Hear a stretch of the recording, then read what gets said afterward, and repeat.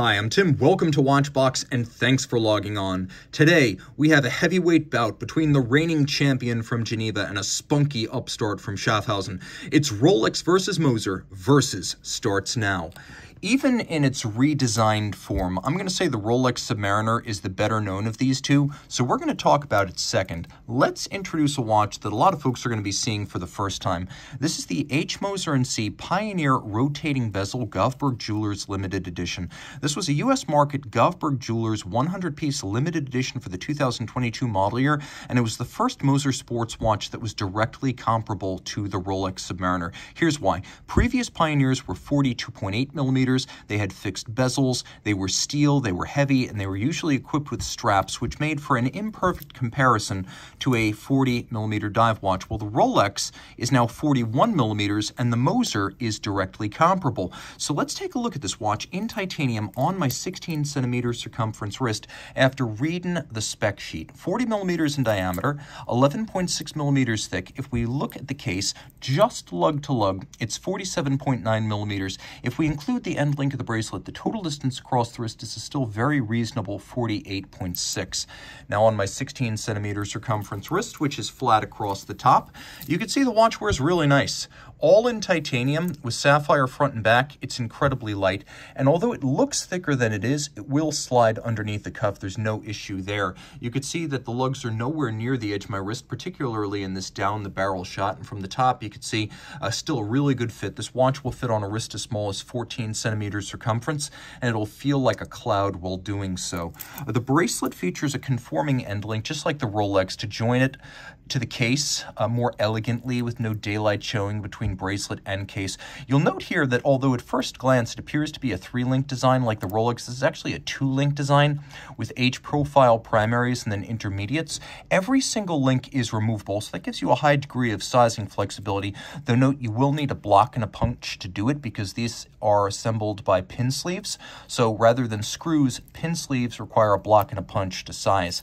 The bracelet and the clasp likely made by Brogioli and Ticino, which is the bracelet and clasp supplier to Moser. You see the Moser logo externally. All of this media blasted for a low glare finish, just like the case. But externally, we have recesses that are coined, and we have those same coined recesses on the case. So uh, design changes were made. This is not a generic part from Brogioli. We also have the Moser logo externally.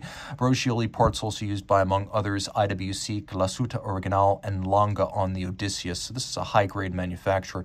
You push the logo and you gain approximately one centimeter of incremental adjustment. Note you can use this when the clasp is closed and on the wrist. There's a twin trigger release system and a thick gauge titanium single swing arm internally.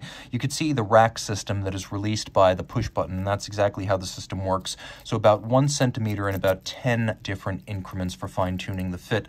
The case, the bezel, the bracelet, all of it's media blasted for a low glare look, which I like on a sports watch. Moser watches always have detailed case resets processes to remind you that they first machine and then hand finish their cases.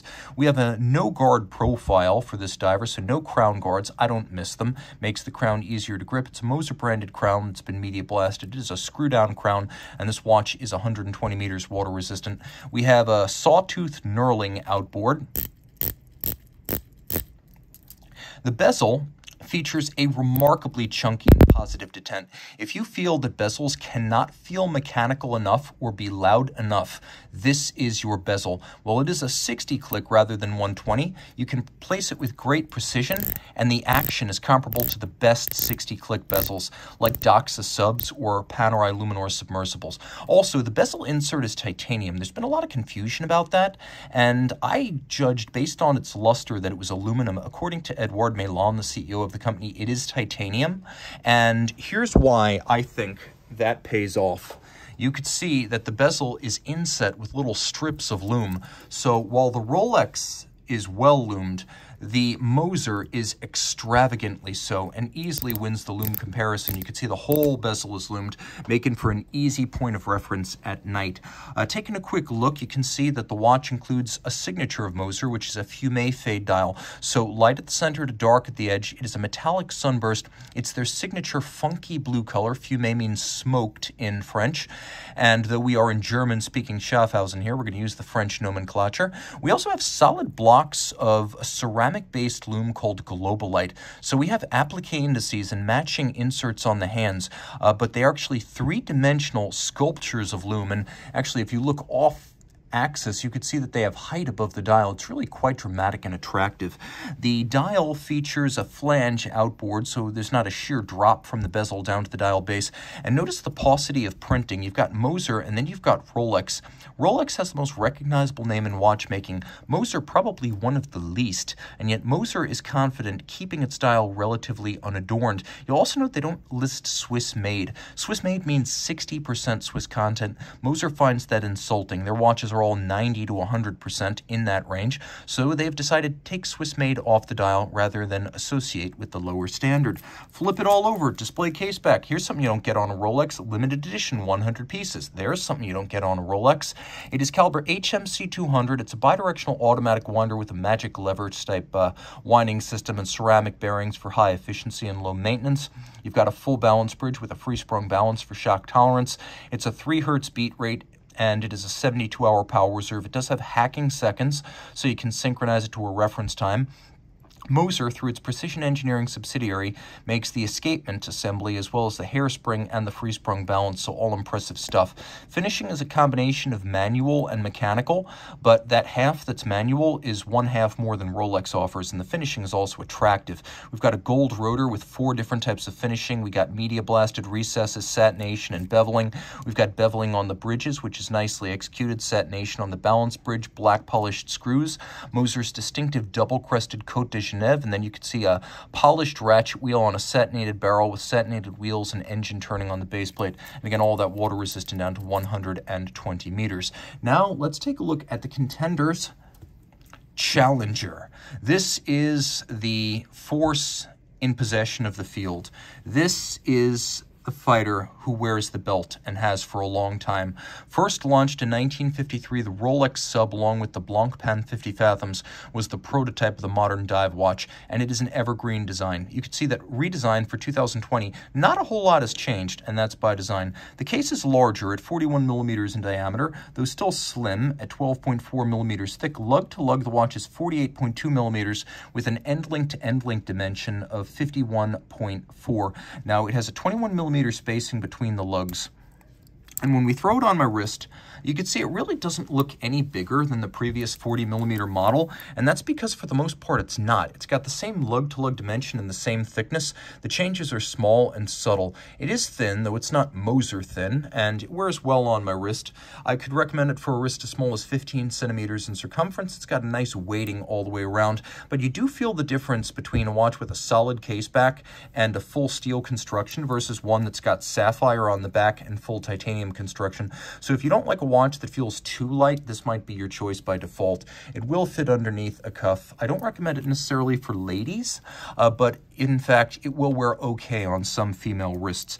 The bracelet's nicely made. We have another conforming end link, but I should mention Rolex makes everything. Dials, cases, clasps, bracelets. They've got their own foundry. They make their own steel and alloys. They use 904L steel, which is a high nickel content steel that is particularly resistant to corrosion. Of course, if you've got a nickel allergy, then Advantage Moser plus titanium by its nature is resistant to corrosion. So no huge advantage there. Where Rolex really does have a bit of an advantage is the way the bracelet's put together using screw-fixed removable links because that means you can size it with a jeweler's screwdriver. You don't need a complex block and a punch system. The clasp is also more impressive than Moser's. First, because it feels heavier, more robust. The tolerances feel tighter and snappier, and you've got a double locking factor. You've got this clamshell externally, and then inside, you've got this spring-loaded lever action release with a beak and a hook, so that latches and shuts, and you can't just pull it open. You've got to actually unlatch it using a lever.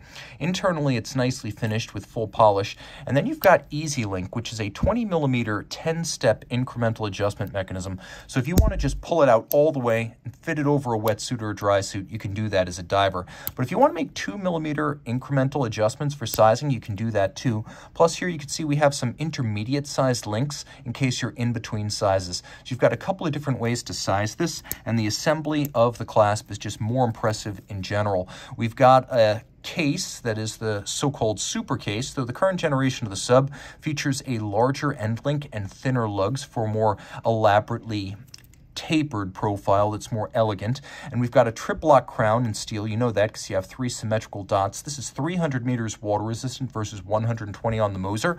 The bezel here is 120 click, and it beats the Moser on absolute precision for that reason, as well as the feeling of refinement. It has a well-defined detent, but the sensation of a silky glide is unmatched. We've also got a bezel insert in scratch-resistant ceramic, with the indices and the numerals actually infilled with platinum, and on the dial, we have black lacquer with white gold hands, as well as indices. While I do enjoy the magnitude of the lume on the Moser, it is important to note that between the two, only the Rolex offers a lumed seconds hand. So that's the Rolex's one advantage with regard to lume. You do know that it's running in the dark, including while diving in the depths. The watch features Rolex caliber 3230, which is the latest version. It dispenses with the old jeweled staff for a winding rotor on a ball bearing. It's a 70-hour power reserve. It has stop seconds. It's got a 4 hertz beat rate, which is a little bit higher than the 3 hertz of the Moser, making the watch both potentially a bit more accurate as well as more shock resistant from a chronometry standpoint. 31 jewels, and it's got a full balance bridge with a free-sprung balance like the Moser, but it's also got an overcoil hairspring, so it will keep more consistent time in different positions, whereas the flat hairspring in the Moser, while accomplished, can't quite achieve that. Also important that with the anti-magnetic nickel phosphorus chronergy escapement, an anti-magnetic balance, balance staff, and niobium zirconium hairspring, this is a highly anti-magnetic watch. The timepiece has also been adjusted so that it runs no worse than plus 2, minus 2 seconds per 24 hours from the factory. Now, let's talk about the advantages of this championship timepiece. This is the heavyweight champ for a long time. It's got the belt, and there's a reason for that. It has evergreen design. There's no planned obsolescence at Rolex. The first Rolex sub-buyer in the 1950s would likely recognize this watch as a descendant of his watch, and I guarantee you in 2053 for the sub 100, this watch will still be recognizable as a Submariner. It is evergreen. It is like a Porsche 911. It never gets old. It's also got a far superior superior clasp between the way it feels, the solidity, the finish, and the double locking factor with the 10 2 millimeter increments of adjustment in the glide lock system. This is a better clasp than the one you find on the Moser. The bezel is superior on a couple of levels. First, 120 clicks versus 60.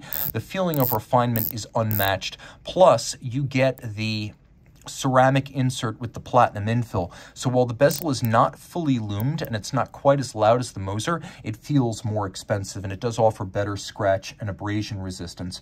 Investment grade. Uh, this is a watch that gains value out of the showroom. It costs $9,100 new and pre-owned it's about $12 to $13,000. Uh, this costs $20,000 new and it sells for about that pre-owned, which is to say it holds its value, but this one is a moneymaker and it's likely to stay that way. Warranty, five-year warranty, two-year warranty. That matters if you're buying new, but it also matters if you're buying pre-owned, because one-year-old, this watch only have one-year warranty left. This one will have four. 300 meters versus 120 meters. A lot of this is theoretical, but luxury is about getting more than you need, and Rolex gives you more than the Moser. Also, there is the magnetism issue. Both of these watches would meet the ISO 764, but that only specifies 4800 ampere per meter. This watch is likely resilient to thousands of Gauss. With the hardware inside, it's not merely 80,000 ampere per meter, which is mil Gauss. It is probably hundreds of thousands of ampere per meter versus 4800 here. So if magnetism is important to you, and it's important to me because of the powerful magnets in my laptop, this watch has a clear advantage. And it has a timing advantage. While the Mosers are well adjusted and could probably meet the chronometer standard, Rolex goes so far beyond that that it is surpassing. Plus two, minus two seconds per 24 hours, tested in six positions as a fully assembled watch and backed with a warranty guaranteeing that accuracy. Moser is not guaranteeing a number, so advantage Rolex. Plus, you've got this screw-fixed bracelet with intermediate-sized links, and that's just easier to size. And with the intermediate-sized link, it gives you an intermediate option uh, that you don't get with the Moser bracelet, which has all or nothing full-sized links, even if they are all removable. And if you want your watch to be all Rolex, batter up. Dial, hands, indices, bracelet, clasp, case, movement, even the shock protection and the lubricants in the Rolex are made by Rolex. Moser does not make its dials, cases, clasps, or bracelets, though it is an accomplished movement manufacturer and it uses the best Swiss suppliers. Still, for vertical integration, you know what you're buying with Rolex. Your money is paying for all of those facilities and refinements. Now, what does the Moser offer? Well, first and foremost, no brand baggage. With a Rolex, people ask, is it real? What does it cost? How much do you make? All sorts of uninvited and unwelcome questions. And every once in a while, they might even case you for a five to 10 finger discount, uh, thinking about snatching your watch, perhaps with your wrist still attached. That's a thing with Rolex and visible brands that are well known. It's less of a thing with small, low profile brands like Moser. Uh, there is the display case back. I like to see my movements, and this one looks good. So, advantage Moser on that front. High horology appeal. Moser makes two to 3,000 watches a year. It invests considerable hand finishing within and without its watches. This is a company that makes tourbillon, minute repeater, and perpetual calendars.